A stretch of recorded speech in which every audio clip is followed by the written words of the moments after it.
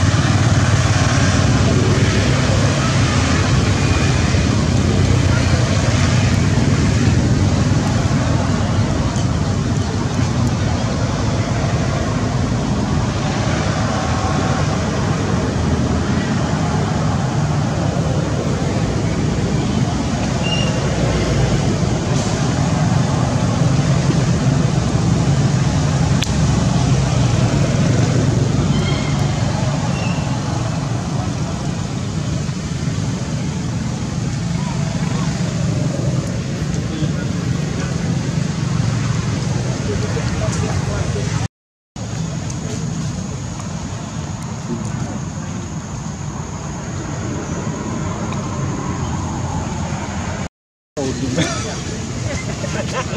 you.